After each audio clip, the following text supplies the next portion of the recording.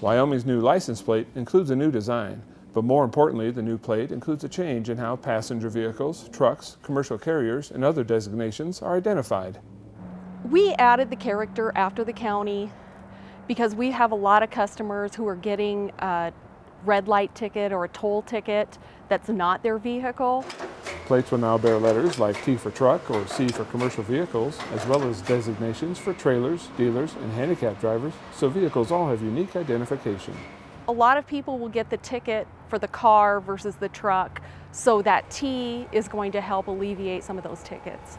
The state redesigns license plates every eight years by state law, and it takes nearly half that time to prepare and produce the new plates. The next design process will begin in 2021 to prepare for 2025. We have to prepare in advance for the license plate reissue, and it took us a couple of years and we printed about 1.2 million license plates. All plates must be renewed and bear the new design by January of 2018 reminding you to drive safely and always buckle up. This is Doug McGee reporting.